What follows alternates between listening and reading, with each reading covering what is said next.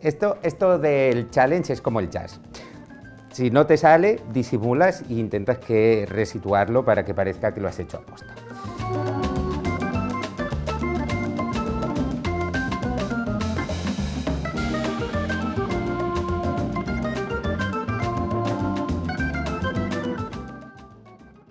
Hola, soy Dani Turren, soy ilustrador y nada, aquí me han liado hacer el challenge de doméstica y lo único que me han dicho es que vamos a hacer una ilustración con material de preescolar.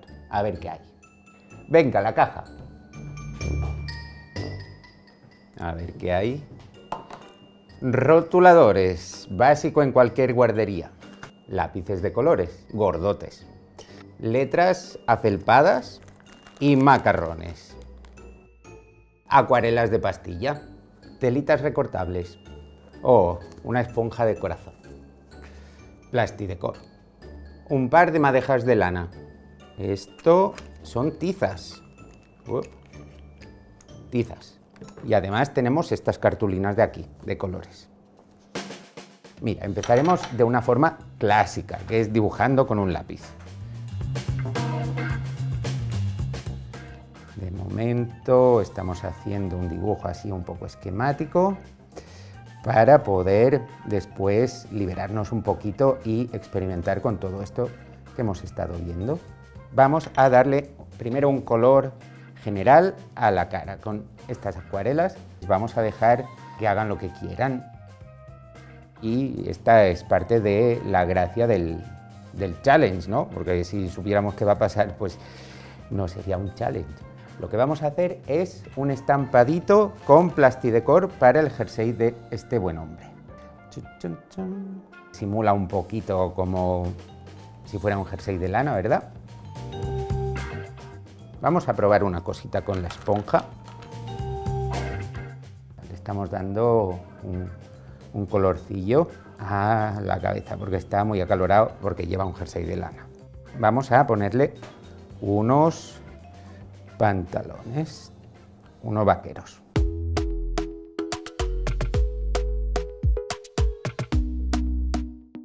Y vamos a ver qué pasa con el jersey.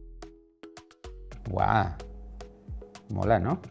Vamos a hacer un poco de técnica del pincel seco, que es que el pincel no esté súper lleno de pintura para que veamos los pelitos del trazo. Ahora vamos a darle un poco los colores de la cara.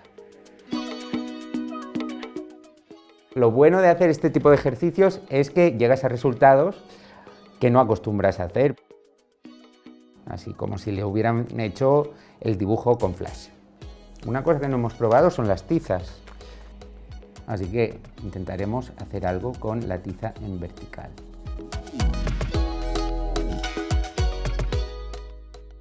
Ya tenemos un ambiente general, nos ha salido bastante poppy.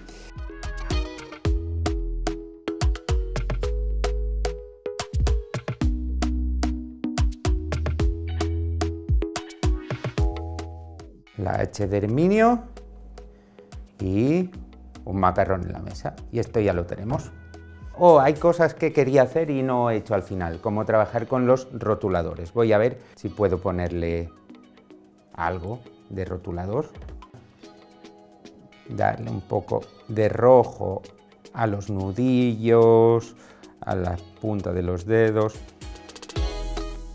Mm, este azul no se ve, se va a llamar Mario.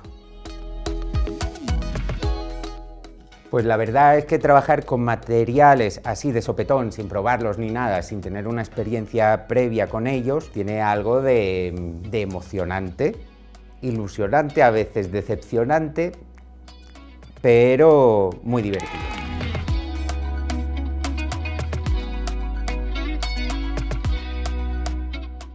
Pues nada, me lo he pasado genial haciendo el challenge de doméstica.